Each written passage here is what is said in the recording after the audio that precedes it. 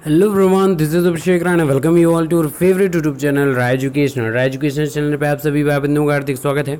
मित्रों, मैंने बोला था कि मॉर्निंग में आप लोगों को सारी अपडेट दो तीन दिन की पूरी कंप्लीटेड अपडेट दे दी थी एल ग्रेड शिक्षक भर्ती के मामले में। तो एल ग्रेड कोर्ट अपडेट के बारे में मैंने बोला था कि मैं देर रहा था कि जैसे भी टाइम मिलता है, मैं आप लोगों को अपडेट दे दूँगा। तो बहुत अच्छी बात रही कि ज़्यादा लंबा ये भर्ती प्रक्रिया नहीं हुई, जैसा लगातार आपकी समीक्षा बैठकें ले रहे हैं आपके मुख्यमंत्री योगी आदित्यनाथ जी। और उसमें जो कड़े रुख अपना रहे हैं कि जल्द से जल्द भर्ती प्रक्रिया को संपन्न कराई जाए और जितने भी भ्रष्ट अधिकारी हों, भ्रष्ट कर्मचारी हों, सबको तुरंत तत्काल रूप से बीआरएस देकर निलंबित कर दिया जाए, बाहर कर दिया जाए।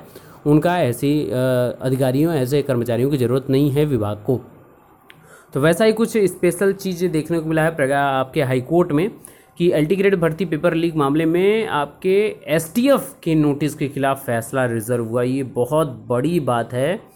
कि एस जो एफ़ की जो नोटिस थी, उसके खिलाफ फैसला रिज़र्व हुआ जो अपने आप में बहुत बड़ी ये ट्वीट निकल कर आ रही है।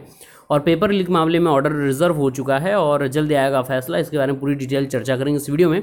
तो पूरा वीडियो लास्ट तक देखिएगा और जितना ज़्यादा हो सके शेयर कर दीजिएगा। बाकी अभ्यर्थियों के लिए क्या है इसका इंपॉर्टेंस इसके बारे में भी चर्चा करेंगे। तो चलिए वीडियो शुरू करते हैं। तो ये भारत समाचार की ये ट्वीट है और यहाँ पे लिखा हुआ है, प्रयागराज एलटी ग्रेड भर्ती पेपर लीक मामला।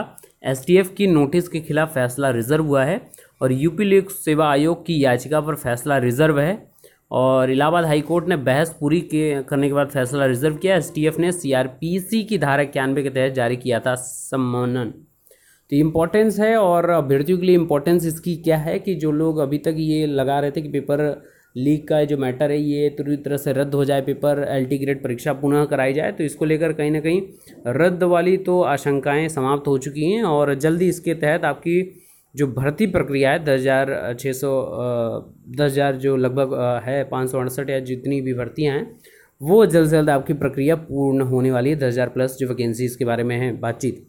और ये ट्वीट आज का है, शाम का है और उम्मीद यही है कि पेपर जो प्रकरण है इसकी सुनवाई अब नहीं होगी क्योंकि ऑर्डर आपका रिज़र्व हो चुका है। तो अभ्यर्थियों में खुशी का माहौल है, जिन्होंने मेहनत से अपनी परीक्षाएँ दी थी, उनके लिए इंपॉर्टेंस है इस चीज़ की और जितने लोगों का अभी तक रिज़ल्ट आ गया था, सत्यापन नहीं हो पा रहा था, उनके लिए बहुत बेहतरीन खुशखबरी है कि जल्दी आपको सत्यापन का देखने को मिल जाएगा और जो इकतीस जुलाई डेडलाइन दी गई है कि सारी लंबित मामलों का और विशेषता आपकी अल्टी ग्रेड सबसे ज़्यादा, क्योंकि आयोग का बहुत ज़्यादा धज्जियाँ उड़ी थी इसको लेकर।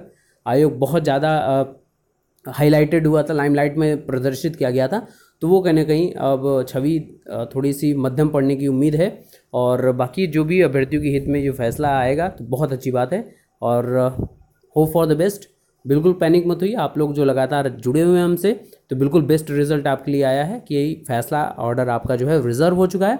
और जल्दी एक दो दिन या जितने भी समय लगे, ये जल्दी आपके समक्ष देखने को मिल जाएगा। तो जल्दी पूरी प्रक्रिया संपन्न हो जाएगी और आप जल्द से जल्द नियुक्ति प्राप्त कर पाएँगे। तो धन्यवाद।